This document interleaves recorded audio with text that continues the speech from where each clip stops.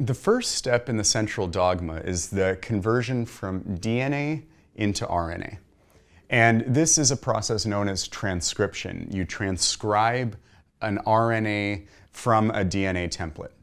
This occurs in the nucleus in eukaryotes. And the reason for that is that DNA doesn't leave the nucleus. And so in order for you to use DNA as a template, you have to have transcription occurring in the nucleus. Obviously, in prokaryotes, there is no nucleus, and so that occurs in the cytoplasm. But in eukaryotic cells, the transcription process occurs in the nucleus. And like many other processes, transcription is divided into three phases an initiation phase, an elongation phase, and finally a termination phase. So, how do you start the transcription process? How does it continue and produce this transcript? And then how does it get the signal that the transcription process must end? With RNA, remember that you're generating a pre-mRNA and eventually you will have to process that. So for transcription, we can add the processing step is something that needs to happen before we move on to the next phase of the central dogma, which is translation.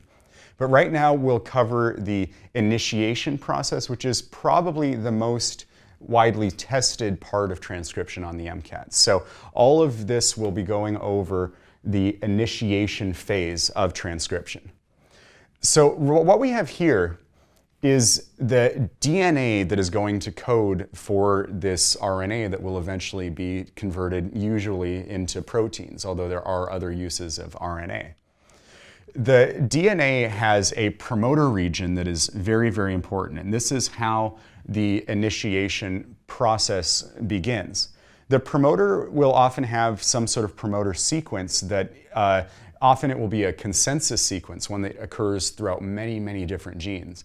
And you may also see it referred to as the TATA box, where it has the thymine, adenine, thymine, adenine group there, because that is present in the promoters of over 25% of eukaryotic genes. And so the TATA box may be used in place of the term promoter. What happens at the promoter is that it's a DNA sequence that can be recognized by transcription factors. Uh, transcription factors are just proteins that bind specific sequences on the DNA. So you'll have a few transcription factors show up here and they'll bind to this sequence like that.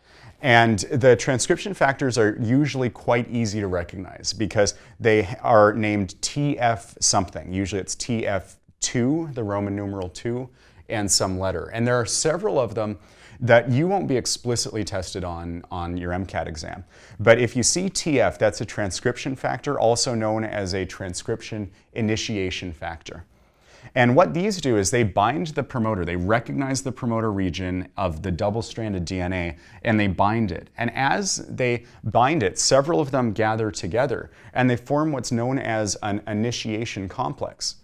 And this initiation complex includes and attracts RNA polymerase, which will be the part that participates in the elongation phase when you make that RNA transcript.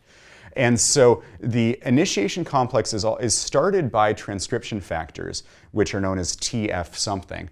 And then that attracts and includes the RNA polymerase. And when that occurs, the RNA polymerase will help unzip this double-stranded DNA and form a transcription bubble.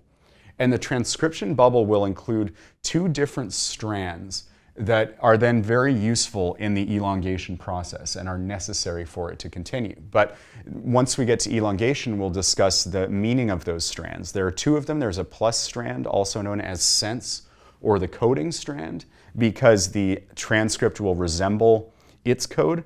And then there's the minus strand, which is antisense, and that is actually the template. That's the one that the polymerase will slide over and produce RNA that is complementary to it.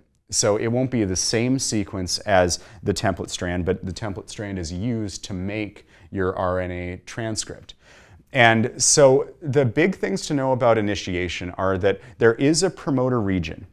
The transcription factors come in and bind it because they recognize some sequence, often the TATA sequence. And then they bind that, form an initiation complex, And then the RNA polymerase comes along and it incorporates into that complex and, uh, and unzips the double-stranded DNA, thus forming a bubble. There are some other things to be aware of. The downstream region, and keep in mind from here, because we're reading, we read up. So we read from three to five, and then it will produce a new RNA strand that'll be five, moving on to three. The complementary strand will look like that. But um, it, it, anything that is downstream, closer to the five end, this is the coding region, the part that will actually be transcribed into that RNA. However, there are upstream places that allow us to control the level of transcription that's occurring.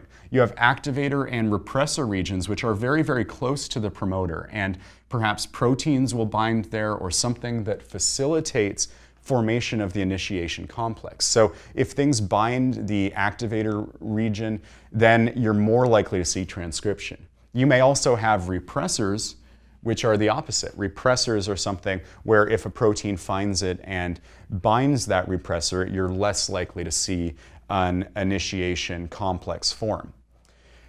Further upstream of that is going to be the enhancer region. And an enhancer is something that's not directly next to the promoter, but it is another thing that proteins can bind to. And in that process, that can then increase the likelihood that you'll form an initiation complex and begin the process of transcription. And the importance of these are that a lot of times with gene expression, there's a need to control it. And so these regions allow the human body to control the levels of expression that are going on.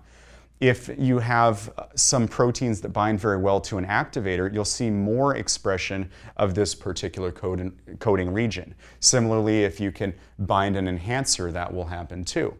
And so the presence of these activators and repressors and enhancers all allow the human body to control the level of expression of certain genes. Some proteins are ones that you need a lot of, others are ones that you won't be using as much. And so this allows us to control the levels of expression. But the key thing about initiation is that you need to form this initiation complex at the promoter region, which is just upstream of the coding region. Once you form this, the RNA polymerase joins, forms that bubble, and then it can begin the process of elongation, which is the next phase in transcription.